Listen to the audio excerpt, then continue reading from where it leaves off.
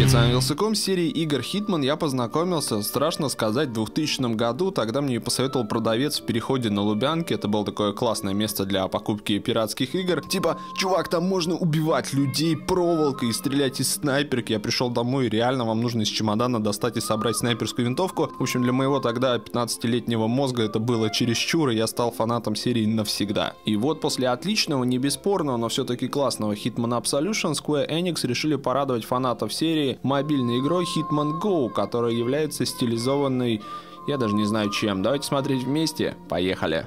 Яблочные скидки всем подписчикам и участникам международного контрактного агентства от applejesus.ru. Об игре Hitman Go известно уже давно, она успела выйти в новозеландском App Store, но теперь добралась до русского по цене 169 рублей, пойдет на ваших айфонах и iPad без особых проблем, построена, кстати, на движке Unity. И когда вы в первый раз запускаете, единственный вопрос, который у вас есть в голове, какого черта, что это за хрень вообще? Действительно, я не понимаю, чем руководствовался Square Enix, выпуская именно это. Я не говорю, что они должны были портировать Sniper Challenge или уж свят-свят Codename 47, хотя могли бы, кстати, и мне кажется, успех того же Max Payne и GTA более чем доказывают, что это рабочая схема. Но они пошли своим путем и выпустили вот это. Примерно с такими мыслями вы запускаете Hitman Go, но буквально после пары первых уровней, которые по факту оказываются обучающими, становится ясно, что, в общем-то, процесс захватывает, и после того, как вы понимаете местную механику и логику, что от вас хотят, становится даже интересно. Одно большое задание — завалить какого-нибудь козла, одна большая карта разбита на фрагменты уровней, где нам по большому счету нужно добраться из точки А до точки Б. При этом передвигаться можно по заранее заготовленному маршруту, а путь нам будут преграждать охранники, мирные жители,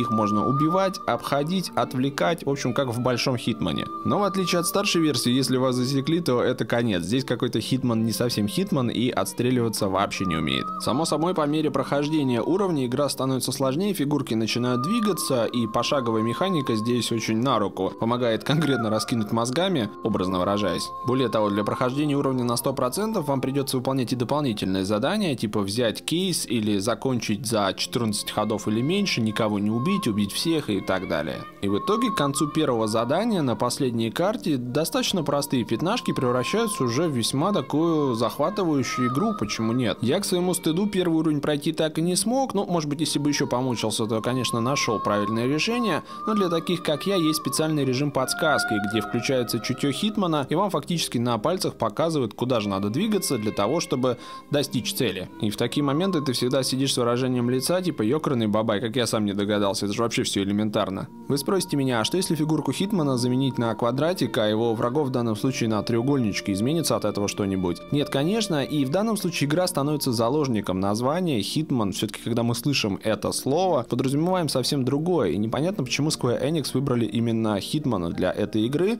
Если бы по полю двигалась фигурка Лары Крофт, наверное, даже было бы прикольнее. Есть на что посмотреть. При цене в 169 рублей есть в игре легкий донат. За каждую миссию вы получаете марки, и вам нужно собрать 25, чтобы перейти на следующий уровень. Не добрали, можно разблокировать прямо сейчас, либо попытаться перепройти. Всего в игре 6 карт сегодня, но, наверное, в будущем добавятся еще новые, потому что на это намекает посылочка в самом конце.